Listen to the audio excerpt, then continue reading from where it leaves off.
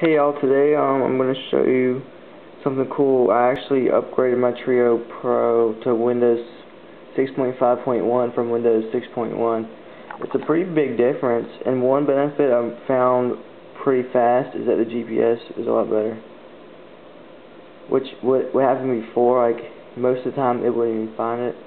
Now it finds it all the time, so I'm just going to show you improve it. So I'm just going to zoom in go to start.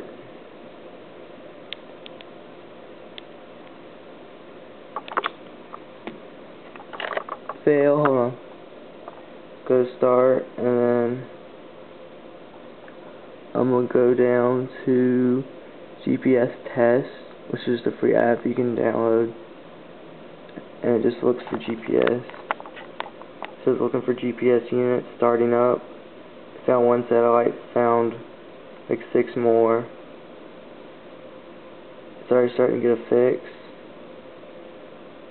GPS running. It found a fix that fast. And I'm indoors, as you can see. See, indoors.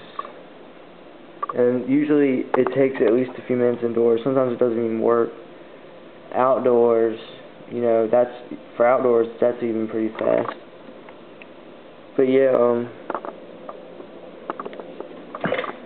once you get that done, there's a few applications you can use on it too. But I'll show that in a later video.